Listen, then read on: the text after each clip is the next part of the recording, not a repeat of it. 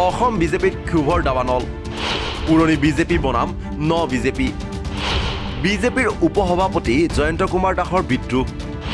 জ্যেষ্ঠ নেতা জয়ন্ত দাসৰ তিনি পৃষ্ঠাৰ পত্ৰই জোকাৰিছে বিজেপি।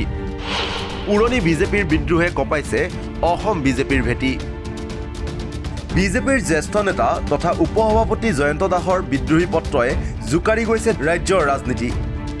তিনি পৃষ্ঠাৰ এখন পত্ৰ পত্ৰখন প্ৰেৰণ কৰা হৈছে বিজেপিৰ ৰাজ্যিক সভাপতি ভৱেশ কলিতালৈ। সমান্তৰালভাৱে বিজেপিৰ প্ৰতিগৰাকী ৰাজ্যিক নেতৃত্বলৈও একেখন পত্ৰৰ প্ৰতিলিপি প্ৰেৰণ কৰিছে জয়ন্ত দাসে। এই পত্ৰখনৰ জৰিয়তে এক প্ৰকাৰ অসম বিজেপিত আৰম্ভ হৈছে হিমন্ত বিশ্ব শৰ্মাৰ বিৰুদ্ধে মুকলি বিদ্ৰোহ। ন বিজেপিৰ বাবে দলত স্থান মান হেৰুৱাৰ অভিযোগ পুৰণি বিজেপি নেতাৰ।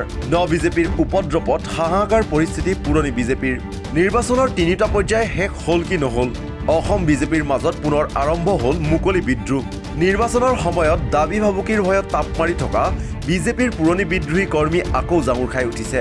আকৌ এবাৰ জ্বলি উঠিছে অসম বিজেপিৰ লবিকেন্দ্ৰিক জুইকুৰা অশোক শৰ্মা ৰাজেন গোহাঁইৰ মুকলি বিদ্ৰোহত হাহাকাৰ পৰিস্থিতিৰ সৃষ্টি হোৱা গেৰুৱা দলটোত ভোট গ্ৰহণৰ পাছতেই ক্ষোভৰ বহিপ্ৰকাশ ঘটিছে পুৰণি বিজেপি কৰ্মীৰ। সকলোৰে অভিযোগ হিমন্ত বিশ্ব শৰ্মা এণ্ড কোম্পানীৰ বাবেই অসম বিজেপি খণ্ড বিখণ্ড।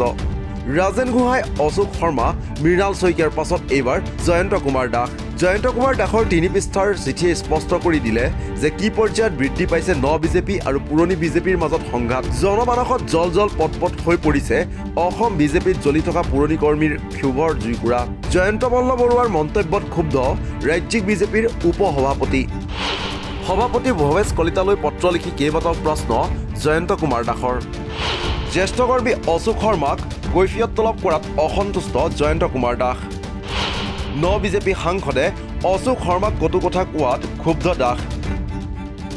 দলটোৰ বেয়া সময়ত ব্যক্তিগত জীৱন জলাঞ্জলি দি দলৰ হকে কাম কৰা মানুহক কিয় উপলুঙা কৰিব বুলি ক্ষোভ প্ৰকাশ কৰিছে জয়ন্ত কুমাৰ দাসে। বছৰত পাঁচদিন কাম কৰা নাই বুলি কৰা উপলুঙা সন্দৰ্ভতো প্ৰতিক্ৰিয়া জ্যেষ্ঠ নেতাজনৰ। বিজেপিৰ বেয়া দিনৰ কথা সোঁৱৰাই পত্ৰত কেইবাটাও কথা উল্লেখ কৰি দাসে কয় পূৰ্বতে সৰ্বোচ্চ ত্যাগ কৰি মানুহৰ মাজত কাম কৰি দলটো প্ৰতিষ্ঠা কৰা বহু নিষ্ঠাবান কৰ্মী আজি হেৰাই গ'ল দলৰ মজিয়াৰ পৰা। যাৰ বাবে অসম বিজেপিৰ মূল ভেটিটোৱেই খহি থৰক বৰফ হোৱাৰ অভিযোগ। ৰহাত আৰম্ভ হৈছে বিজেপিৰ বিদ্ৰোহ।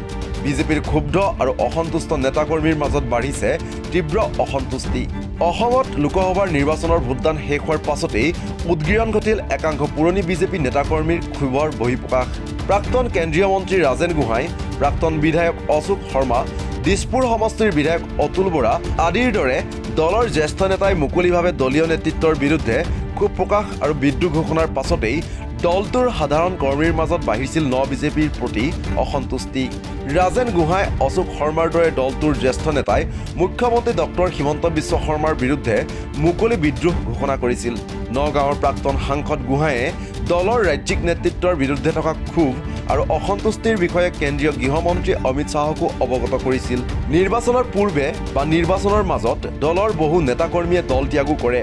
আৰু এনেকৈ এতিয়া দেখিবলৈ পোৱা গৈছে অসম বিজেপিৰ খণ্ড বিখণ্ড ৰূপ। ৰহাত বিজেপিৰ একাংশ নেতাকৰ্মী ক্ষুব্ধ আৰু অসন্তুষ্ট হৈ পৰা দেখিবলৈ পোৱা গৈছে। দলটোৰ একাংশ বঞ্চিত পুৰণি নেতাকৰ্মীয়ে এনেদৰে বৈঠক অনুষ্ঠিত কৰি বিদ্ৰোহ ঘোষণা কৰা ঘটনাই যে সুদূৰ প্ৰসাৰী প্ৰভাৱ পেলাব সেয়া স্পষ্ট হৈ পৰিছে। দলটোৰ একাংশ ক্ষোভিত নেতাকৰ্মীৰ অভিযোগ মুখ্যমন্ত্ৰীৰ পৰা আৰম্ভ কৰি অধিকাংশ মন্ত্ৰী পদ বিধায়ক আৰু সাংসদ পদ দলৰ বিষয়ববীয়া আদিত ন বিজেপিৰহে দপদপনি বেছি। ফলত এলাগী হৈ পৰিছে দলৰ বহু পুৰণি নেতাকৰ্মী। ৰহাত ভাৰতীয় জনতা পাৰ্টীৰ পুৰণি নেতাকৰ্মীৰ কাৰ্যকৰ্তা সন্মিলনত পুৰণি বিজেপি নেতাকৰ্মী উপেক্ষিত হৈ থকাৰ অভিযোগ উঠি আহিছে।